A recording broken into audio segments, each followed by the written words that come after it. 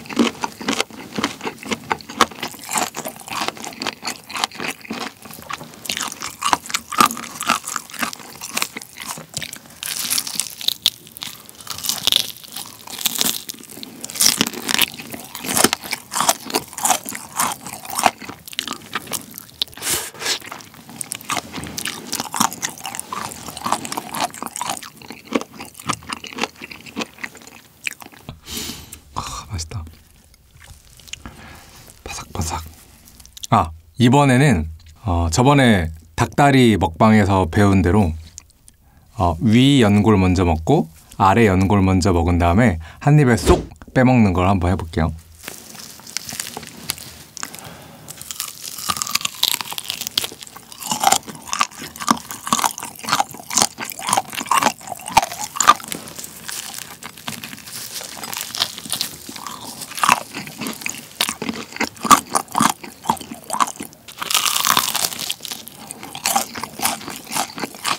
한 입에.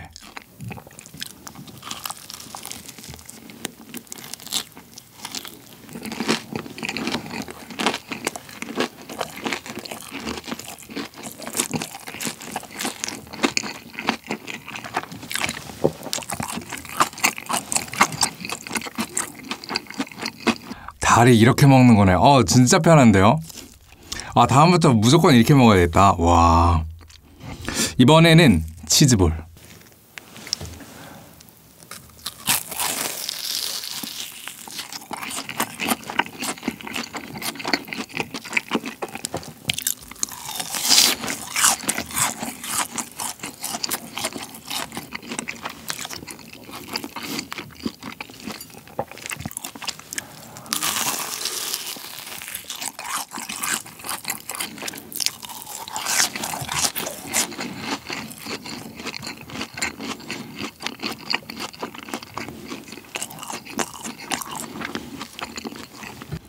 아, 맛있어요. 치즈볼 어떤 맛이냐면 되게 바삭한 찹쌀 도넛인데 안에 팥 대신 치즈가 들어있는 치즈와 살짝 달달한 연유가 들어있는 그런 맛입니다. 아 참. 그리고 양념치킨 소스도 같이 준비를 했습니다. 어, 같이 시키니까 두 봉지에 500원 이렇게 추가를 받더라고요. 한번 먹어보도록 하겠습니다.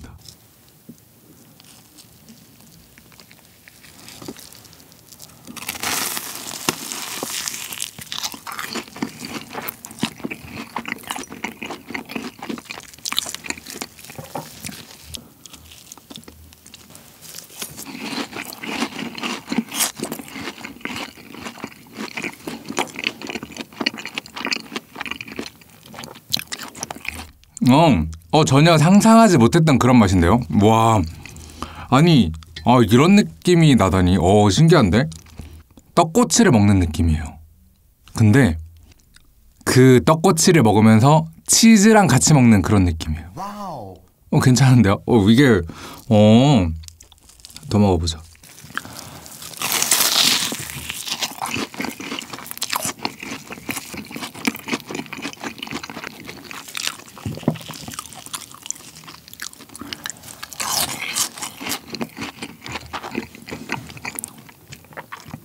아니 이 양념치킨 소스가 고추장 맛이 좀 강해요. 그래서 더 떡꼬치 같은 맛이 나는 것 같아요.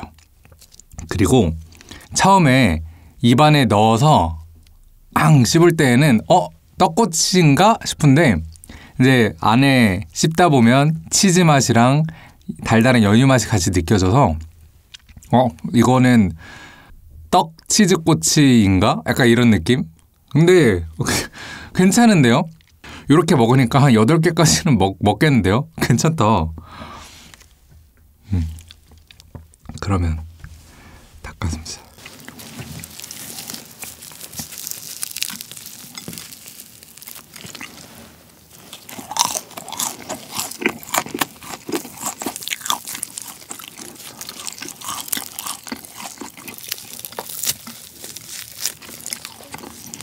닭가슴살을 이렇게 뜯어서 뿌링클 소스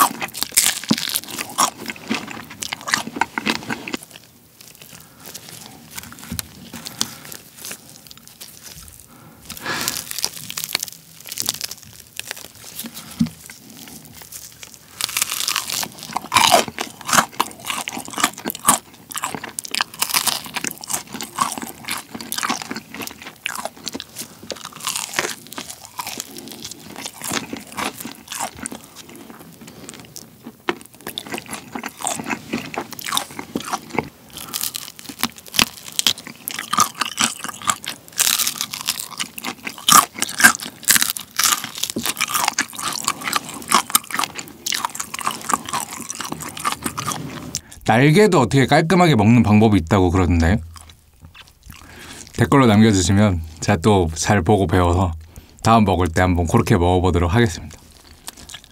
오늘 영상 재밌고 맛있게 보셨다면 좋아요와 구독 부탁드리고요.